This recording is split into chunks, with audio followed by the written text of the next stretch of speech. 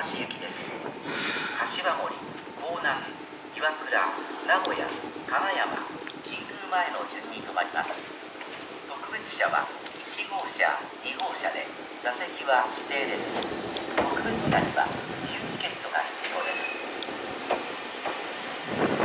1号車2号車特別車特急豊橋行きです。国際空港行き6番線。平安通り行き3番線の電車ご利用ください。2番線の電車は名古屋方面の新特別車特急豊橋行きです。柏森大田岩倉名古屋金山神宮前の順に止まります。特別車は1号車2号車で座席は指定です。特別車には入チケットが必要です。